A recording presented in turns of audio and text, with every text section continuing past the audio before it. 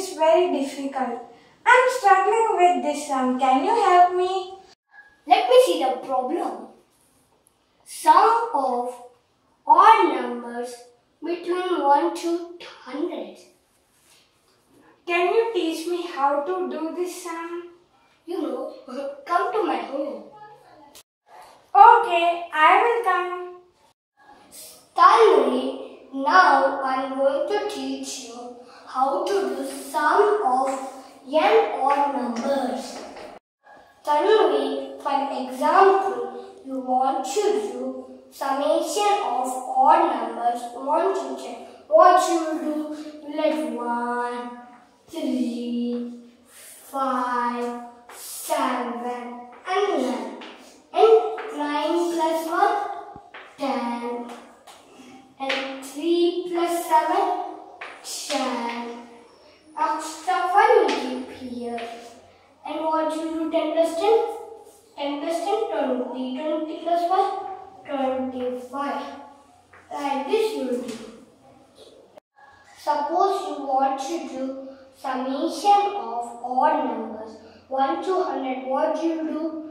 You write 1 or odd numbers, 1, I, like this you write all odd numbers and after all cut off. That is long process, right Tanvi? Yes. Now I am going to teach you one technique. Technique is used for summation of odd numbers. The technique is n into n. This is the technique. Okay. Yeah, okay. Now I am going to example. You are taking 1 to 10 sum, summation of odd numbers 1 to 10. Then n is equal to 5. Why means odd numbers are only 5 and 1 to 10. Then 10 is equal to 5. This is any plus 1 or plus 2. Means n also 1 more n is also 5. We have to keep these both numbers into the formula.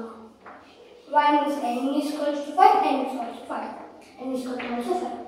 Here we can say one more into. We keep into. 5 5 are 25. 25. It is too easy, right, Tanvi? Yes, it's very easy. Now I am going to take your problem that is summation of all numbers 1 to 100 odd. Then in this n n is equals to 50. Then one more n is equals to 5050. After this we have to keep n n is equal to 50 n is equal to 50. Here we have to keep 50. And here also 50. Finally, you know, find, find the 25. two, five. Here, how many zeros are there? Two. We have to add for 25. This is the answer. Summation of odd numbers 1 to 100 is 2500. Thank you, Vivek, for giving us such, such a nice trick.